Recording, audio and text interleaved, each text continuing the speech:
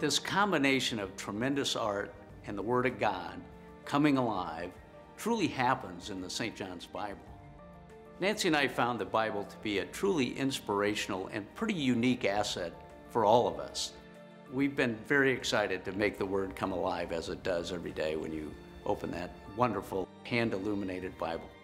It's just a wonderful experience for our students and anybody who views it. We love this gift because of what it gives to others and how it makes others aware of the Word of God alive in our world. It's very gratifying to us and it makes the gift one that we may have started out giving, but we receive, as always, way more.